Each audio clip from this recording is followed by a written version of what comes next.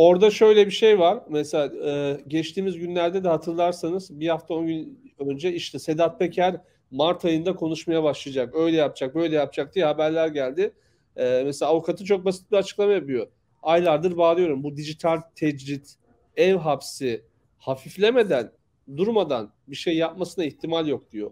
E, daha önce de biliyorsunuz Halk TV'deki farklı muhabirlerin, e, farklı gazetecilerin Sedat Peker'le ilgili e, kulis bilgileri vardı. 100 kişilik bir ekibin etrafında olduğu, e, Birleşik Arap Emirlikleri'nde güvenlik bir çemberi olduğu, tecritte olduğu, şimdi tüm bu süreçler devam ederken Sedat Peker'in e, yani bir şeyi açıklaması kendi kendine e, hani düşünüyordu herhalde o kadar ince eleyip sık dokuyan biri bu böyle bir ortamda bunu açıklar mı açıklamaz mı?